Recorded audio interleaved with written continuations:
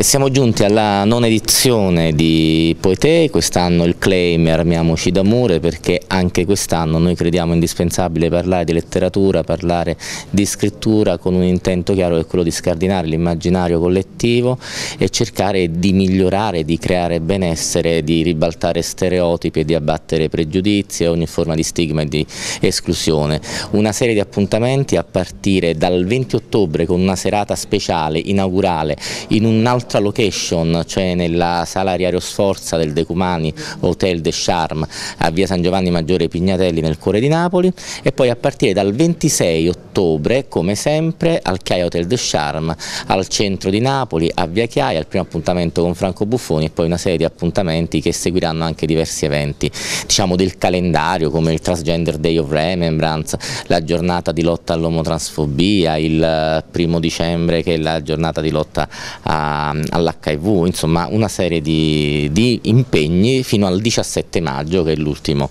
poetè di quest'anno. Parte venerdì prossimo, 20 ottobre, la nona edizione di Poetè, il salotto di lettere e di culture che si propone di scardinare pregiudizi e luoghi comuni. Negli appuntamenti al Chiaia Hotel de Charme si presentano libri, storie ed autori, con uno sguardo privilegiato sul tema delle discriminazioni su identità di genere ed orientamento sessuale, che in tal modo si diffondono per diventare patrimonio comune, nell'ottica dell'inclusione e della condivisione. Numerosi ed attraenti gli incontri in programma fino a maggio, tutti ad ingresso gratuito. Il Comune di Napoli è molto vicino a tutto quello che riguarda il contrasto eh, alla violenza e a ogni forma di discriminazione, nel caso specifico eh, la discriminazione nei confronti di orientamenti sessuali altri da quelli considerati normativi. Ehm, l'approccio di carattere culturale è significativo perché eh, non riguarda semplicemente una questione di politiche sociali ma riguarda proprio un modo diverso di educarsi eh, all'altro, quindi alle, differenze.